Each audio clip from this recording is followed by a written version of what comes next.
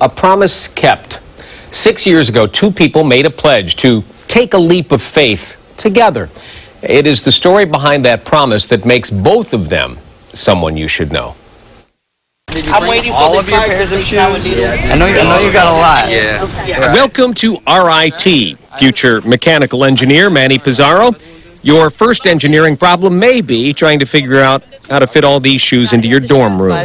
Oh my god, I told him, Manny, don't bring all those shoes there. But you get the sense Manny will go far in these shoes. The Eastridge High grad has come a long way already, thanks to his own ambition, family support, and a big brother named Andrew. Big brother as in the mentoring program, Big Brothers Big Sisters. It was, it was just cool to have, you know, someone to talk to about anything I needed and support, you know, for any any problems I might have had. This move-in day was also a deadline day. It has to do with a promise that Andrew made to Manny six years ago when they started their big brother relationship.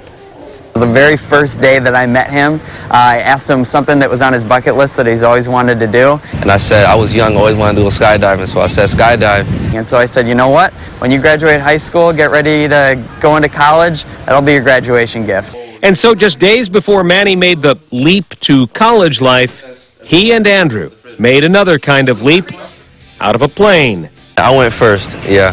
He see he seen me uh, fly off, yeah. Any thought that you were going to jump and he was going to stay in the plane? No, I knew he was gonna do it. A lot of people have tried skydiving, but this jump had so much meaning.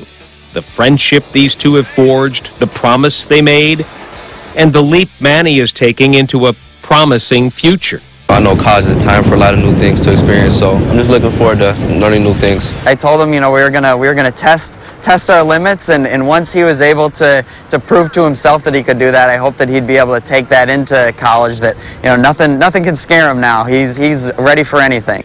A promise made, a promise kept by two someones you should know. Right there, we did it. How was that? Couple of great guys there. Uh, Manny, uh, a scholarship to RIT Yeah. into the mechanical engineering program, and Andrew. Andrew's only 30 years old, so he started that Big Brother mentoring program when he was just 24 years Yeah, old. yeah. So really, two two guys who just you know became friends, and and it's the, and I asked them both about it, and they say friends for life. You know. Yeah, so that's, that's a wonderful uh, organization. it really.